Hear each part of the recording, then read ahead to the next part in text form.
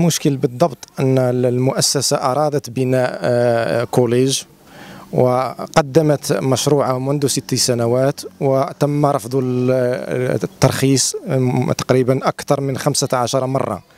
آه، المشكل أعمق من هذا هل يتعلق بالعقار؟ لست أدري بحكم أن هناك عقار في ملكية عضو في حزب العدالة والتنمية قريب من المؤسسة. ربما هذا هو المشكل مشكل عقاري أكثر منه مشكل آه، آخر. ملكية المؤسسة تعود إلى آه، المستثمر السابق آه، بمدينة آسفي سويسري الجنسية. قام بوقف هذا الملك لصالح أطفال مدينة آسفي وفي نفس الوقت يقدم الدعم المادي تقريبا ل 30 تلميذ زائد 20 تلميذ من ذوي الاحتياجات الخاصة.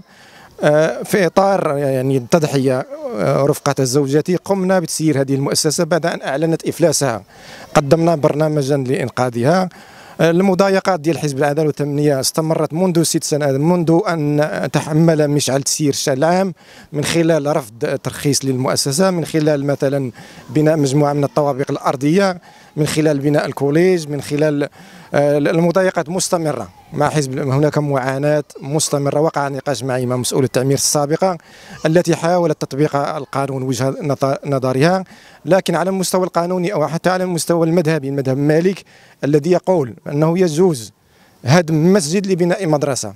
عندما يتعلق بالمدرسة فنحن نقوم بمجهودنا ونضحي. نحن رفقة زوجتنا فقد نضحي نحن متطوعين أكثر مما نربح في هذه المؤسسة لصالح أطفال أبناء أسفي آه، جرت العادة بالمؤسسة بالنسبة للعاشوراء أنه كيجي واحد الشخص يقوم بتوزيع لي بونبون فاني ديال توفيتا. لسوء الحظ يعني الفيديو نشر منذ خمس سنوات. لم يحضر الشخص بابا عاشوراء الذي يرمز إلى العطاء وإلى مجموعة من القيم فقامت زوجتي بتعويضه.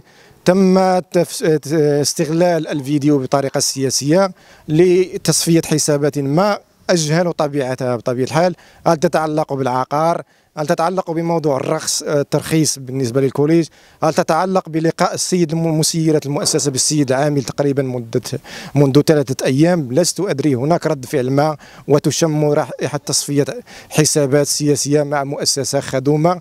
ومؤسسة تخدم ذوي الأطفال المحتاجين تخدم ذوي الاحتياجات الخاصة وتشغل أكثر من 40 شخص. أنا أحمل حزب العدالة والتنمية مسؤولية السلامه الجسدية لأن البيان فيه في في في تحريض فيه مجموعة من الأشياء الخطيرة. أحمله آه، مسؤوليه السلامه الجسدية لزوجتي.